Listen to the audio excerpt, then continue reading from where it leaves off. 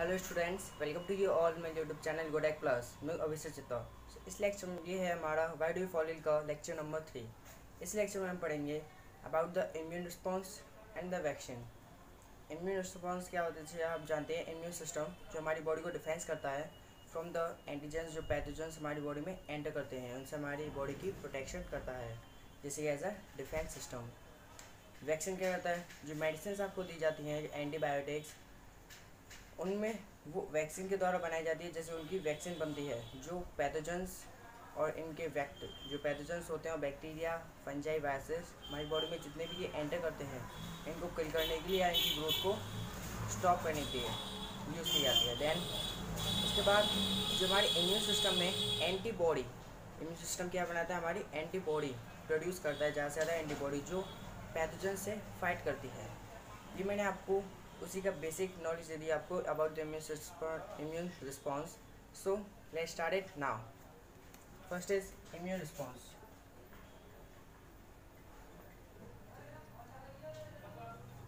immune response immune response क्या होता है? इम्यून रिस्पॉन्स का मतलब हुआ कि इम्यून सिस्टम इम्यून सिस्टम का एंटीजन के प्रति मीन्स एंटीजन के फ़िल्म में एंटीजन के टुवर्ड्स में उसका रिस्पॉन्स जब भी कोई एंटीजन एंटीजन पहली बात एंटीजन क्या होता है?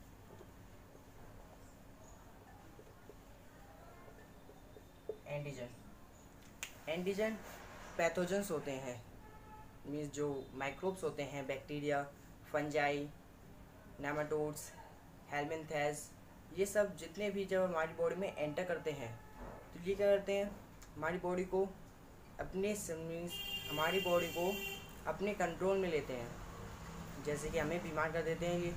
बीमार करने से इन्हें ही हम कहते हैं एंटीजन और इन एंटीजन को जो ग्रोथ को, इनको जो किल करता है, इनको मार देता है मीन्स ख़त्म कर देता है, वो कौन करता है? इम्यून सिस्टम जो कि अब इम्यून सिस्टम इस एंटीजन के टूवर्ड्स में जो भी एक्शन लेगा, जो भी वर्क करेगा या एक्शन लेगा, इसके प्रति क्या कहेंगे इसको? हम इम्यून रिस्पॉन्स इम्यून रिस्पॉन्स में क्या आ जाएगा? ये इम्यून सिस्टम एंटीबॉडी ये इम्यून सिस्टम एंटीबॉडी प्रोड्यूस करेगा. एंटीबॉडी क्या करेंगी? एंटीबॉडी इसी एंटीजन से फाइट करेंगे. फाइट करने में इसमें क्या होगा? एक प्रोसेस यूज़ होगा. That is called the agglutination agglutination.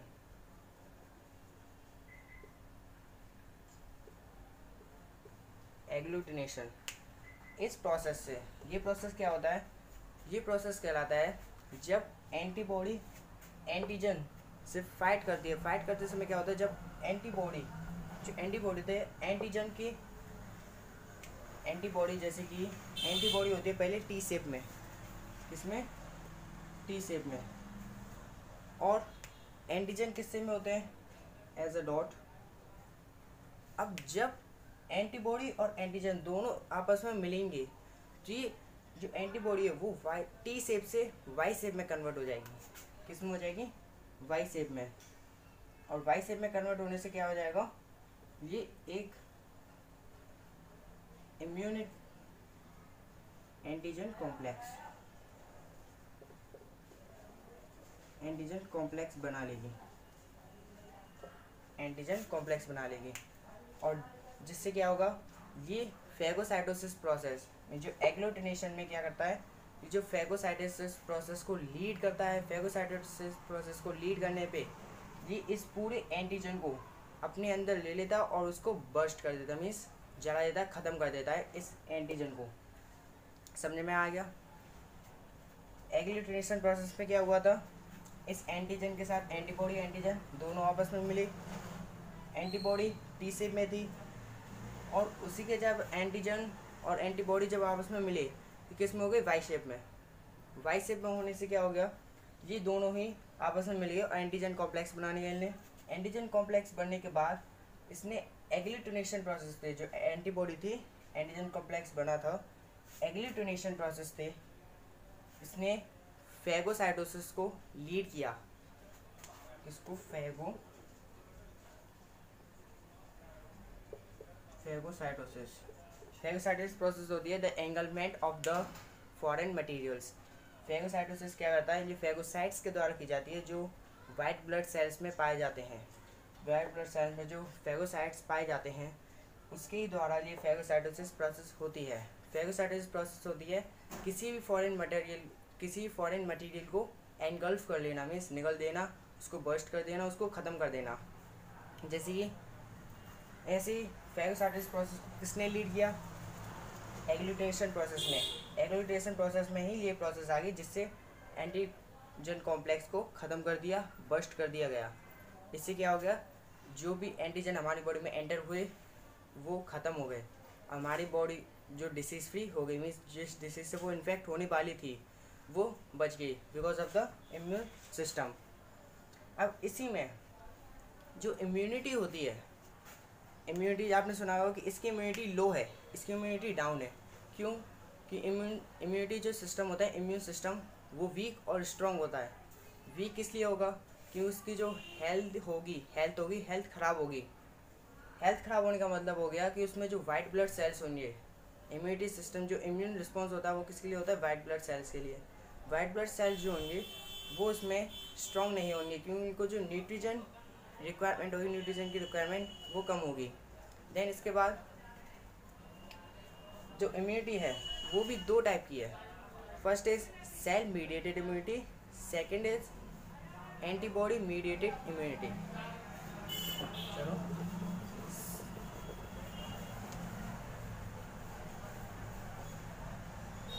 पहली थी cell mediated cell mediated immunity second is antibody antibody mediated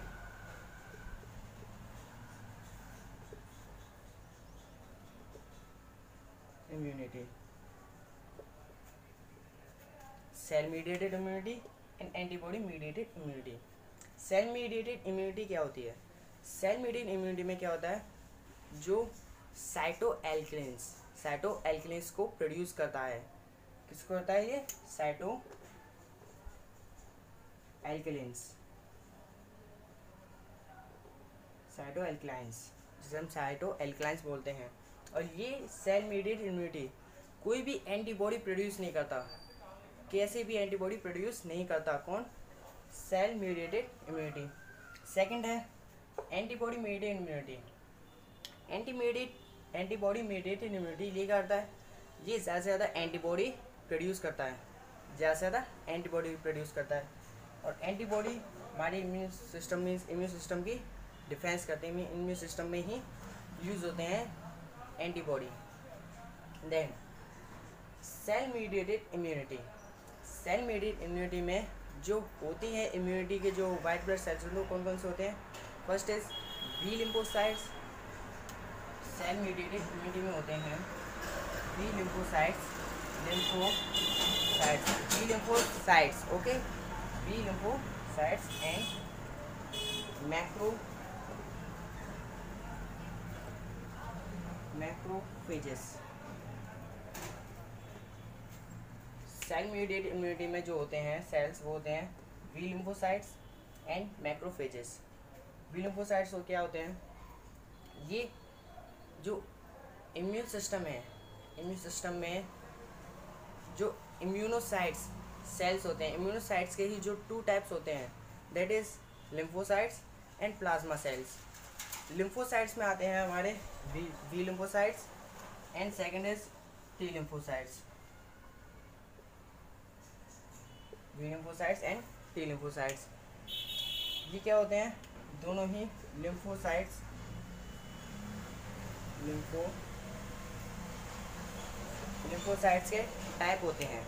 B lymphocytes and T lymphocytes then second is macrophage macrophages क्या होते हैं? ये बैक्टीरिया जो ये फॉरेन मटेरियल होता है, उसको एनगल्फ कर लेता है, उसको बस्ट कर देता है। क्या कर देता है? उसको एनगल्फ कर देता है और बस्ट कर देता है। मैक्रोफेजेस ओके देन क्या है? मैंने आपको बताया सेल मीडिएट इम्यूनिटी में क्या आते हैं? B lymphocytes and macrophages okay जो वी लिम्फोसाइट्स है ये वी लिम्फोसाइट्स ये एक्टिवेट कहाँ होता है? कहाँ पर एक्टिव होता है? ये एक्टिव होता है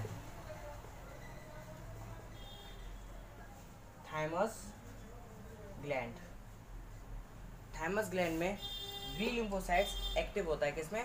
थैमस ग्लैंड पे।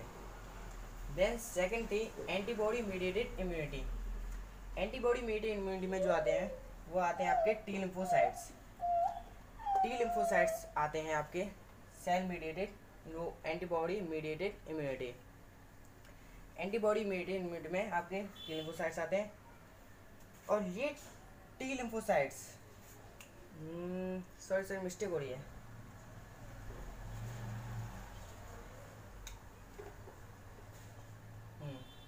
सेल मीडिएटेड इम्यूनिटी में आपके टी लिम्फोसाइट्स और मैक्रोफेजेस आते हैं। और एंटीबॉडी मीडिएटेड इम्यूनिटी में आपके वी लिम्फोसाइट्स वी लिम्फोसाइट्स आते हैं। और वी लिम्फोसाइट्स के भी टाइप्स होते हैं अंदर। वी लिम्फोसाइट्स के जो टाइप्स हैं वो हैं फ़र्स्ट इज़ फ़र्स्ट है आपके plasma cells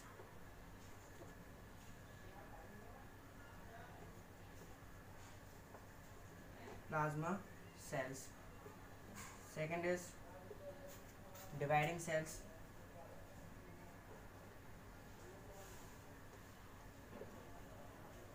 Third is memory cells. Okay B lymphocytes में आते हैं आपके प्लाज्मा सेल्स डिवाइडिंग सेल्स और मेमोरी सेल्स प्लाज्मा सेल्स कौन से होते हैं?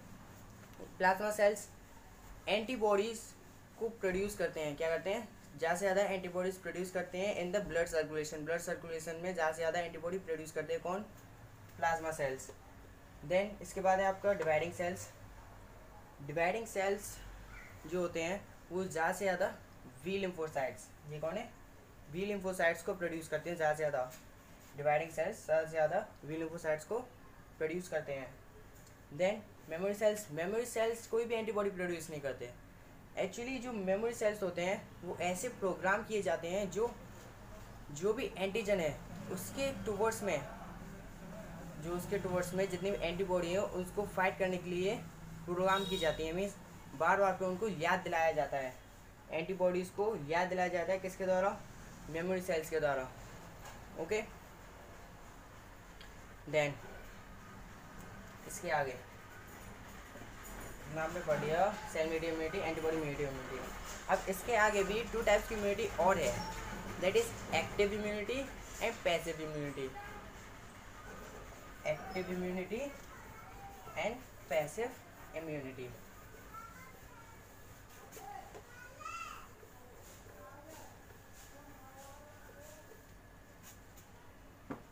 active immunity okay first is active